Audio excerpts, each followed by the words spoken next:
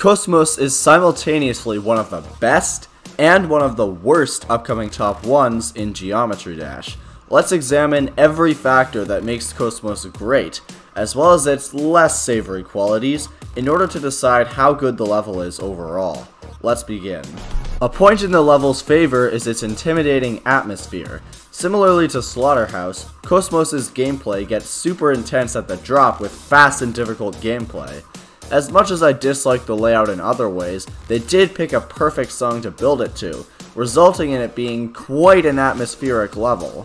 But while atmosphere is a plus, it alone is not a strong enough case for a demon being good. It certainly doesn't make up for the horrendous gameplay. Focusing on the drop for now, most of the layout is made up of either straight fly with nothing but the occasional orb or slope for variation, or very similar and copy-paste heavy wave segments. It's some of the most unoriginal gameplay there is, but I'll elaborate on that later. Putting aside the gameplay for now, let's talk about theming. Cosmos is recognizable for its use of space theme, a level style that's starting to be used a little more in Extreme Demons, and for good reason. The potential of space theme is higher than almost any other level style, as there are plenty of space-related objects you can build in GD, which look great. When you have a team of creators that know how to decorate, which Cherry Team certainly is, this is an excellent choice. The theme of the deco may be great, but in terms of the gameplay version of theming, not so much. Why? Well, the short answer is that it's a Slaughterhouse remake. The original SLH itself wasn't all that imaginative, being full to the brim with extreme demon tropes such as shit ton of straight fly, shit ton of fast and hard wave gameplay, a boring pre-drop, and generally having some of the worst gameplay known to man. Cosmos has been called the best Slaughterhouse remake, but that's not saying much.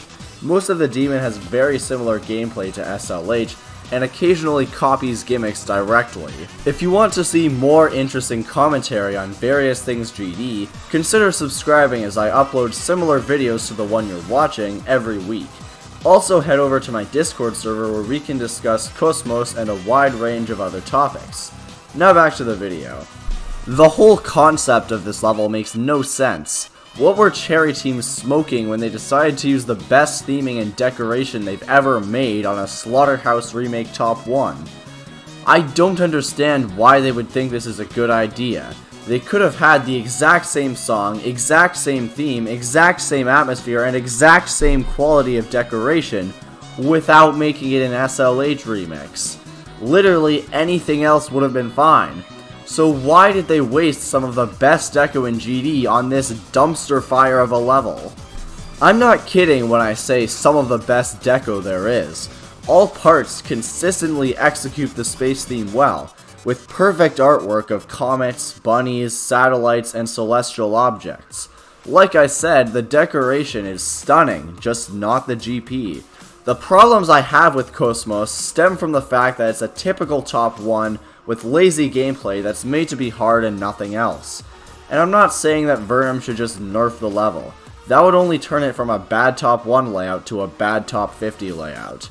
If you want to make a good top 1, you should try to make the gameplay at least somewhat passable, or better yet, do something unique with it.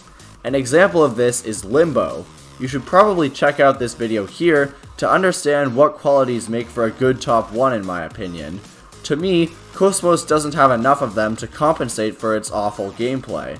But if you disagree, let me know why in the comments.